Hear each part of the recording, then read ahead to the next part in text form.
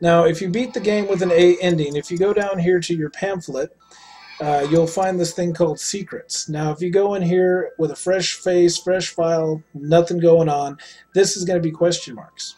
So let's see what this is. Okay, so here you have like a little track list. So you got Scissorman, Then you got the reprise. This is like when you're walking around in a building. There's that creepy fucking kid song.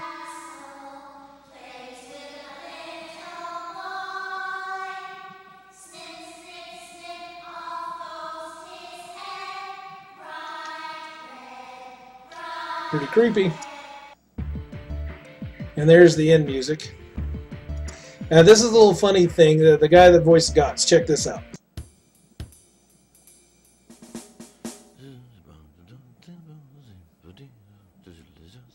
Appearing a while back. They must be the ghosts of children who were killed here. They started appearing. I wonder how many days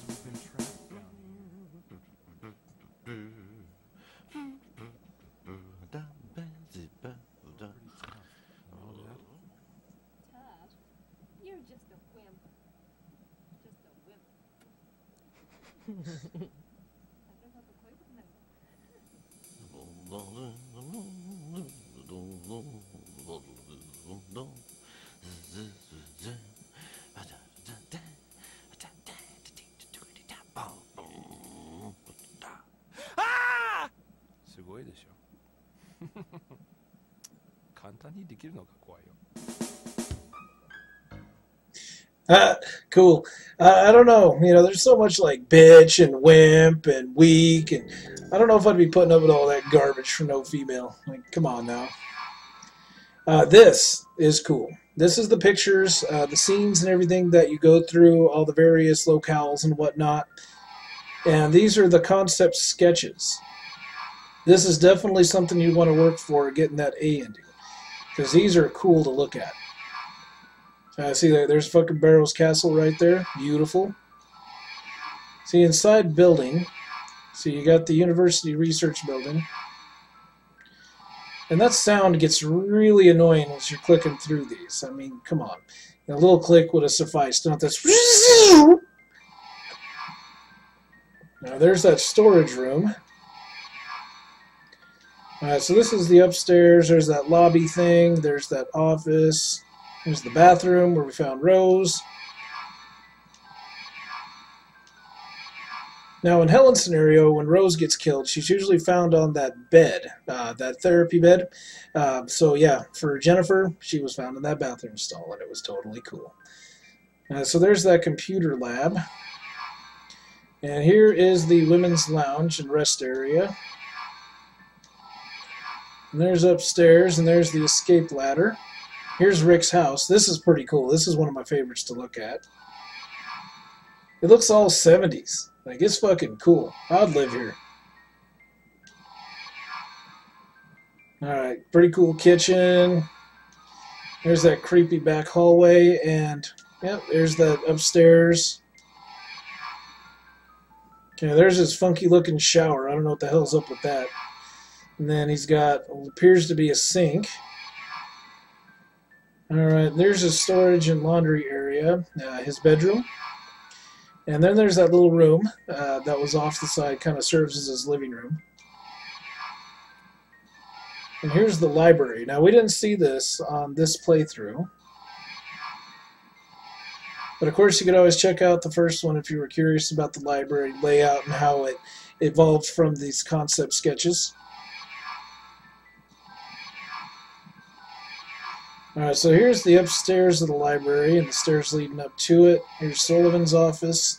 This is his collection room. There's a little room leading out there, and this is where Sullivan met his untimely demise. And then here's the mansion. Now this is pretty fucking cool too. So here's the front lobby. You didn't see that on this playthrough either. Uh, that's where Helen starts hers out when you play as her. Here's the lobby. Uh, this looks like one of the various hallways, probably the first floor.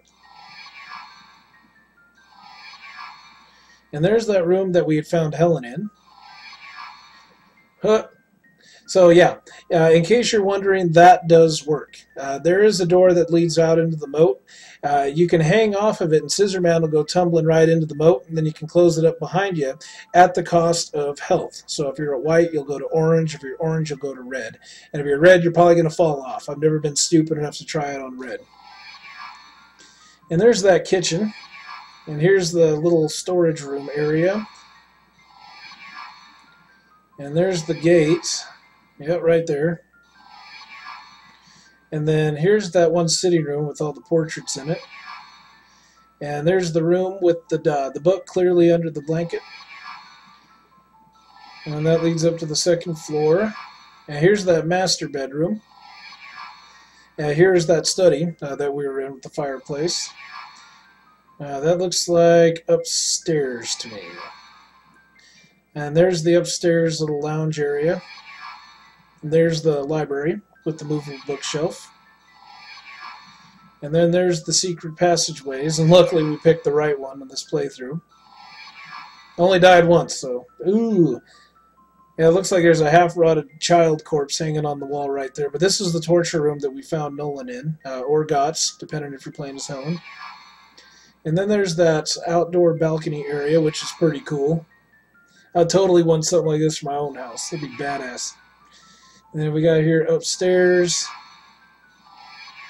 And there's the wine cellar. Uh, fun fact, uh, if you're playing as, I think it's either Jennifer or Helen, either one of them, I mean, 50-50 chance, right? Um, you will find Beth stuffed into one of these barrels, and blood will come out when you turn that spigot. And that's pretty fucking crazy. And there's the hallway leading to the door, and there's the uh, altar area where we scored that dagger. And that looks like a crawl space. It's too dark to tell. And there's the door leading to the final area, and there is the final area. Okay, there's that little uh, library that was off of the priest area. And there's the hallway connecting them all, and there's the chapel. And there's that torture room. Yeah, you see that sketch right there? That's supposed to be Gotts uh, that you're seeing laying on the floor. And that blood in that roller machine would also be where Gotts would be winding up if you ran in there with Scissorman after you. Okay, here's something cool. These are the pictures. Uh, this is more concept art for the characters. Uh, you see Jennifer right here. Uh, there she is rocking schoolgirl shit. And then you got Helen. Alright, and that end one right there, I'm pretty sure factors into one of the endings, but I'll be posting that up on the on my final uh, pay uh, part of Clock Tower on my LP. I'll make sure to link up all the endings for Clock Tower my usual form. I'll make sure to keep you folks up to date.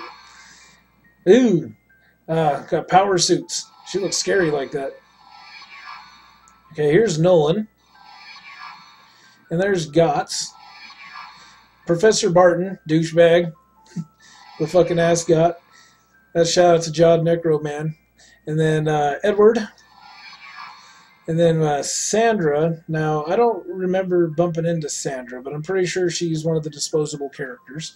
Sullivan, Kay, Harris, Beth, Danny.